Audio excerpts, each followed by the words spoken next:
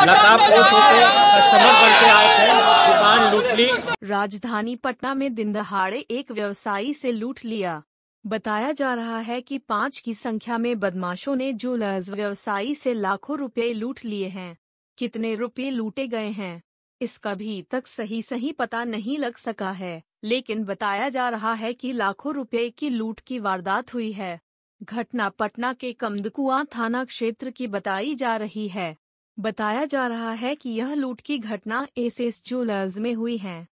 वहीं इस लूट की वारदात को अंजाम देकर भाग रहे पाँच बदमाशों में से एक बदमाश स्थानीय लोगों के हत्थे चढ़ गया है। इस दौरान लोगों ने बदमाश को खुद पिटाई की।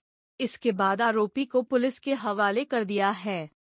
वहीं इस घटना से पीड़ित दहशत में आ गया है। घटना के बाद रोना धोना शुरू हो गया। फ़िलहाल पुलिस और भी आरोपियों की तलाश कर रही है। मौके पर गांधी मैदान कदम कुआँ थाना सहित सिटी एसपी अम्बरीश राहुल मौके पर पहुँचे हैं। नकाबपोश कस्टमर बन के आए थे। दुकान लूट ली बंदूक दुकान के दुकान लूट ली। कैमरा का डीवीआर बेचने की फिराक में था और एक कार्ड कार कार करनी एक कार